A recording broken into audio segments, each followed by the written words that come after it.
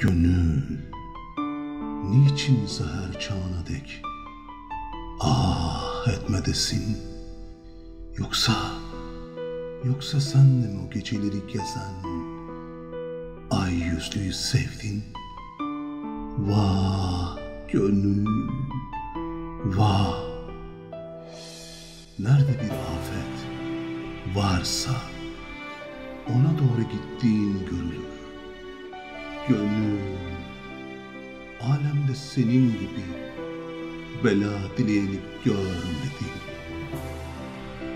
Gönül, seni o saçlara esir eden Allah, beni ne vakit senden azat edecek? Gam çölünde esirgeyici bir arkadaş bulamadım, bulamadım. Bari gel de gene seninle yoldaş olalım.